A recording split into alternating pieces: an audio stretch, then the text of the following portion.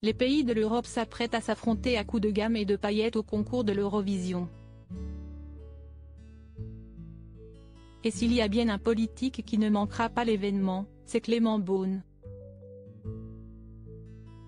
Dans une interview publiée par l'Express en mai 2022, le ministre des Transports a évoqué son attachement à cette célèbre compétition de chant, dont il n'a raté aucune édition. Je suis en train d'organiser une soirée dans un bar avec des amis et des militants de la circonscription dans laquelle je suis candidat. Pour moi, l'Eurovision, si esti de la politique au sens large et noble du terme, réunir les gens autour d'un moment festif, européen, mais pas techno ni ennuyeux, a-t-il expliqué. Fidèle de l'Eurovision, L'ancien conseiller budgétaire de Jean-Marc Ayrault avait été particulièrement marqué par la prestation de Dana International il y a de ça 24 ans. J'ai un souvenir très personnel de 1998, l'année de mon bac français. Il y avait une chanteuse trans-israélienne, Dana International, pour moi, jeune garçon, c'était un symbole important.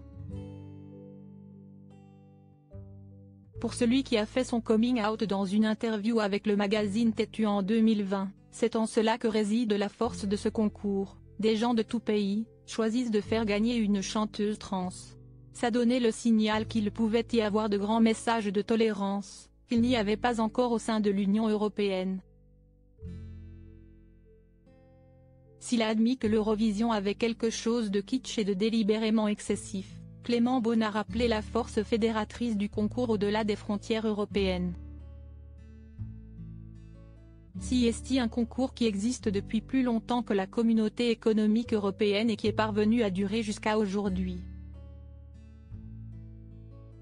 Il y a des centaines de millions de téléspectateurs, ça n'a pas d'équivalent en termes d'esprit et de rassemblement européen, si l'on met de côté le football bien sûr.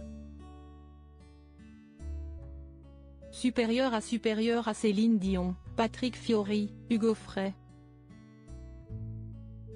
Défilé de stars à l'Eurovision Lazara à l'Eurovision avec son titre évidemment cette année, la France sera représentée par Lazara et son titre évidemment. La chanteuse québécoise, sur la scène de M&S Bank Arena de Liverpool passera en sixième position avec un show qui s'annonce d'ores et déjà explosif. Vêtue d'une robe spectaculaire, elle surplombera la scène et le public. Cela sera-t-il suffisant pour l'emporter? La semaine dernière, l'artiste était classée troisième par les bookmakers. Mais désormais, à quelques heures de la grande finale, elle dégringole et se retrouve en sixième place, comme le rapportent nos confrères de BFM Télévision.